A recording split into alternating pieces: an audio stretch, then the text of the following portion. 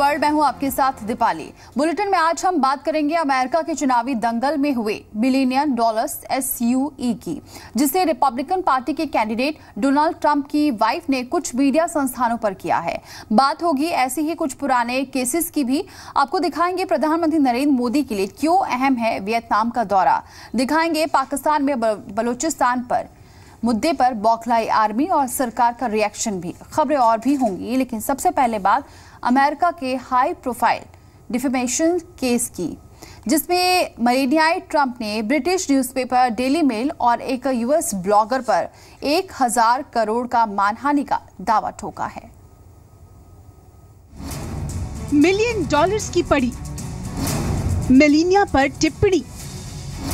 Mrs Trump को कुछ ना कहना, वरना देना पड़ेगा तगड़ा जुर्माना।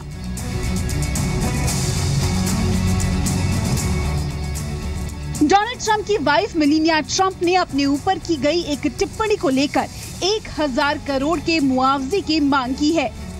डोनाल्ड ट्रंप की तीसरी पत्नी मिलीनिया ट्रंप पर की गई ब्रिटिश न्यूज़पेपर और एक यूएस ब्लॉगर की टिप्पणी 150 मिलियन डॉलर की पड़ी है। दरअसल ब्रिटिश न्यूज़पेपर डेली मेल ने अपनी एक रिपोर्ट में लिखा था कि 1990 के दशक में मिलीनिया जिस मॉडलिंग एजेंसी के लिए काम करती थी, वो एस्कॉट सर्विस भी देती थी। और न्यूयॉर्क में मिलीनिया ट्रंप ने पार्ट टाइम एस्कॉट सर्विस के लिए भी काम किया था। मिलीनिया ट्रंप के वकील चार्ल्स हार्डर ने कहा, इन प्रतिवादियों ने मिसेस ट्रंप को लेकर कुछ बयान दिए हैं और वो शत प्रतिशत गलत हैं। और उनके व्यक्तिगत के साथ साथ पेशेवर प्रतिष्ठा को भी बुरी तरह नुकसान पहुँचाने वाली है। मिलेनिया ट्रंप ने अपनी शिकायत अमेरिका के मेरीलैंड की मॉन्ट गोलमरी काउंटी की सर्किट कोर्ट में दर्ज कराई है और इस मुकदमे के फाइनल होने के बाद से ब्रिटिश न्यूज़पेपर डेली मेल और American blog Tarpley dot net ने बयान जारी करके अपनी रिपोर्ट वापस ले ली है और मिलीनिया ट्रंप से माफ़ी भी मांग ली है। लेकिन मिलीनिया के वकील का कहना है कि मिलीनिया अपनी शिकायत वापस नहीं लेंगी। छियालीस साल की मिलीनिया ट्रंप मूल रूप से स्लोवानिया की रहने वाली है। 1990 के दशक में मॉडलिंग के लिए मिलीनिया स्लोवानिया से अमेरिका आ गई। अमेरिका आकर ही उनकी मुलाकात डोनाल्ड ट्रंप से हुई। 2005 में इन दोनों की शादी हो गई और उनका एक बेटा भी है। यूएस ब्लॉगर टार्पले ने तो यहाँ तक लिखा था कि मिली ने अपने अतीत के उजागर होने से डरती है, जबकि डेली मेल की एक वेबसाइट ने स्लोवानियन मैगजीन का हवाला देते हुए मिलीनिया के लिए ये बात कही थी। मिलीनिया ट्रंप के वकील ने ये भी कहा है कि दोनों ही मीडियम्स के ज़रिए मिलीनिया की इमेज को नुकसान पहुँचाया गया है। यूँ तो मिलीनिया ट्रंप को लेकर पहले भी चुनावों के दौरान तरह तरह की कंट्रोवर्सीज हो चुकी हैं, लेकिन इस बार मामला डेफेमेशन केस तक पहुँच गया है। International desk India twenty four seven तो अकेले मिलेनिया ट्रंप ही नहीं जिन्होंने किसी न्यूज़पेपर या फिर मीडिया पर मानहानि को लेकर करोड़ों का दावा ठोका हो। इससे पहले भी कई सेलिब्रिटीज इस तरह के दावे मीडिया पर ठोक चुके हैं। ब्रिटिश न्यूज़पेपर सन पर कैमरन डियाज ने ऐसा ही मुकदमा ठोका था, जब उनके और शेन निकलसन के अफेयर को लेकर एक पिक्चर छापी गई थी। इस आर्टिकल की वजह से दोनों के रिश्ते खराब हुए थे। रॉबिन विल्सन ने भी मानहानि का दावा अपने लुक अलाइक पर ठोका था, जो कई चैरिटी इवेंट्स में रॉबिन विलियम्स बन चुका था और इससे विलियम्स की छवि को खासा नुकसान हुआ था। एक्ट्रेस कीरा नाइटले ने भी ब्रिटिश न्यूज़पेपर डेली मेल पर मानहानि का मुकदमा ठोका था, जो एक लेख को लेकर था, जिसमें कहा गया था कि उन्हें ईटिंग डिसऑर्डर है। इस दावे के बदले उन्हें हज़ारों डॉलर्स का मुआवजा मिला था। प्लास्टिक सर्जन रिनेटो कैलिब्रिया ने भी यूएस की एक मैगजीन पर मानहानि का दावा किया था और उन्होंने ये केस जीता। डेविड बैकहम ने भी एक मैगजीन पर मानहानि का दावा किया था। हालाँकि बैकहम ने ये केस हार गए थे। प्रधानमंत्री नरेंद्र मोदी का वियतनाम के हनोई एयरपोर्ट पर शानदार स्वागत हुआ। चीन पहुँचने से पहले पीएम मोदी का वियतनाम दौरा कई मायनों में खास माना जा रहा है। मोदी सरकार की एक्ट ईस्ट पॉलिसी का हिस्सा है। दक्षिण चीन सागर पर अधिकार को लेकर वियतनाम और चीन के बीच तनाव के हालात हैं। चीन को संदेश देने के साथ साथ वियतनाम और भारत के बीच ब्रह्मोस मिसाइल समेत कई अहम समझौते हो सकते हैं। पीएम मोदी 4 और 5 सितंबर को चीन के हैंगझोउ में होने वाले जी ट्वेंटी शिखर सम्मेलन में हिस्सा लेंगे। वहीं आपको ये भी बता दें कि 15 साल बाद किसी भारतीय प्रधानमंत्री का ये वियतनाम दौरा है। इससे पहले पूर्व प्रधानमंत्री अटल बिहारी वाजपेयी 2001 में वियतनाम गए थे।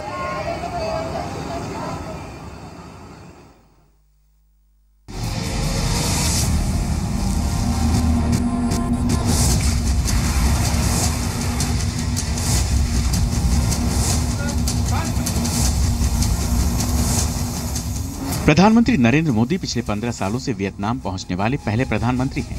लेकिन उनका ये दौरा महज इसलिए खास नहीं, बल्कि इसलिए भी खास है क्योंकि चीन पहुँचने से पहले मोदी के वियतनाम को लेकर डेस्टिनेशन के तौर पर चुना है। ये दौरा ऐसे वक्त में हुआ जब वियतनाम और चीन के रिश्तों का बुरा दौर चल रहा है।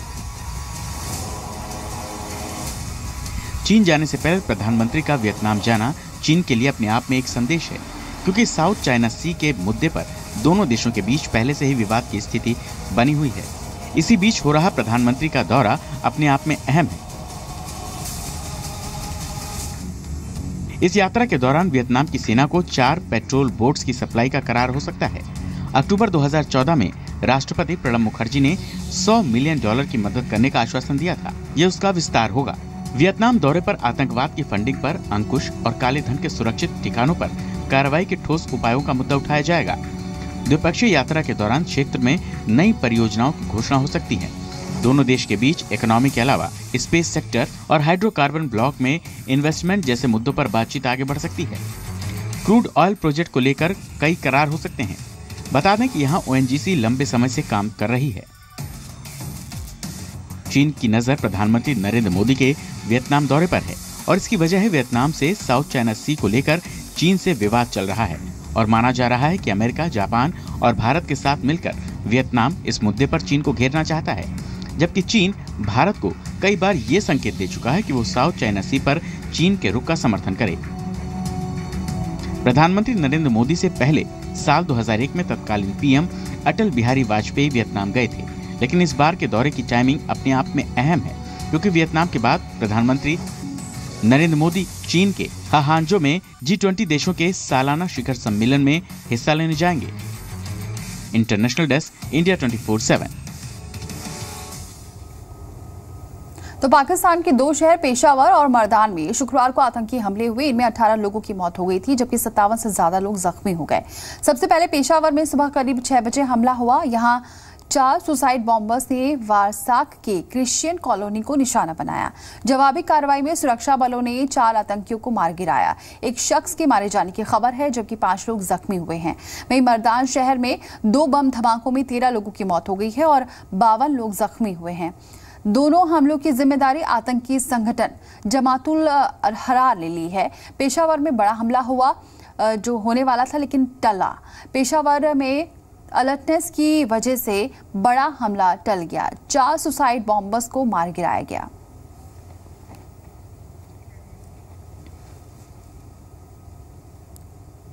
और अब बात करते हैं पाकिस्तान के उस मुद्दे की, जो इस कदर गरमाया हुआ है कि उसकी आज 18 दिन बाद भी कम नहीं हो रही। प्रधानमंत्री नरेंद्र मोदी ने बलूचिस्तान और गिलगित बलिस्तान के मुद्दे पर 15 अगस्त को जो बयान दिया था, उसे पाकिस्तान आज तक बौखलाया हुआ है। इतने दिनों से चुप बैठे पाकिस्तान आर्मी के चीफ जनरल राहिल शरीफ ने भी बलूचिस्तान को लेकर मोदी पर निशाना साधा है। पाकिस्तान, भारतीय प्रधानमंत्री नरेंद्र मोदी के स्वतंत्रता दिवस पर दिए बयान को भूल नहीं पा रहा है। पाकिस्तान में अब army chief general Raheel Sharif, प्रधानमंत्री नरेंद्र मोदी के 15 अगस्त वाले बयान पर प्रतिक्रिया दे रहे थे। गिलगित में गुरुवार को चीन पाकिस्तान कॉरिडोर देखने आए राहिल शरीफ ने भारतीय प्रधानमंत्री के बयान पर रिएक्ट करते हुए कहा, हम अपने दुश्मन और उसकी चालों को अच्छी तरह समझते हैं और इनसे निपटने के लिए तैयार हैं। चूँकि भारत गिलगित बाल्टिस्तान में बन रहे चीन पाकिस्तान इकोनॉमिक कॉरिडोर का विरोध करता रहा है, इसलिए पाकिस्तान इस कॉरिडोर के बनने को अपनी प्रतिष्ठा का प्रश्न बना चुका है। राहिल शरीफ ने कहा कि पाकिस्तान की सरहदें पूरी तरह महफूज हैं और देश सही दिशा में बढ़ रहा है। पिछले कुछ वक्त से पाकिस्तान ऑक्युपाइड कश्मीर के इस इलाके में विरोध प्रदर्शनों का दौर चल रहा है। इस जगह के लोग पाकिस्तान आर्मी के जुल्मों की बात कर रहे हैं और राहिल शरीफ ने यहाँ के लोगों को भरोसा दिलाया कि पाकिस्तान की आर्मी को अपनी ही आर्मी समझना चाहिए। राहिल शरीफ के बयान के बाद कई बलोच नेताओं ने कहा है कि पाकिस्तान आर्मी की ओर से आया यह जवाब कहता है कि प्रधानमंत्री नरेंद्र मोदी ने जो कुछ कहा था, उसका सही मैसेज पाकिस्तान में गया है। इसलिए पाकिस्तान आर्मी के चीफ राहिल शरीफ इस तरह की बात कर रहे हैं। बौखलाए हुए पाकिस्तान का बार बार चीन का ज़िक्र करना भी उसके दिखते हुए आत्मविश्वास को दिखा रहा है। इंटरनेशनल डेस्क, इंडिया 24/7 तो बलूचिस्तान की आज़ादी का समर्थन करने वाले बलोच नेता ब्रह्मदाग बुख्ती से चिड़े पाकिस्तान ने अब उनकी गिरफ्तारी के लिए कोशिशें तेज कर दी हैं। पाकिस्तान ने बलोच नेता ब्रह्मदाग बुख्ती के खिलाफ इंटरपोल के ज़रिए रेड कॉर्नर नोटिस जारी करवाने की पूरी तैयारी में है। फ़िलहाल बुख्ती स्विट्जरलैंड में रहते हैं। रोमदाग तब सुर्खियों में आ गए थे जब उन्होंने भारतीय प्रधानमंत्री मोदी के स्वतंत्रता दिवस पर बलूचिस्तान पर दिए गए बयान की तारीफ़ की थी। इस बयान में पीएम ने बलूचिस्तान, पीओके गिलगिट बालिस्तान में मानवाधिकार उल्लंघन का मुद्दा उठाया था। पाकिस्तान ने इस बयान की आलोचना करते हुए इसे पाकिस्तान के आंतरिक मामले में हस्तक्षेप की कोशिश कहा था, लेकिन बलूचिस्तान के आज़ादी समर्थक नेताओं ने इस पर पीएम को शुक्रिया कहते हुए बांग्लादेश की तर्ज पर बलूचिस्तान की आज़ादी की बात कही थी। पाकिस्तान की इस कोशिश के बाद बलोच लीडर्स ने भी अपनी प्रतिक्रिया देते हुए पाक को आतंकी फैक्ट्री कहा है।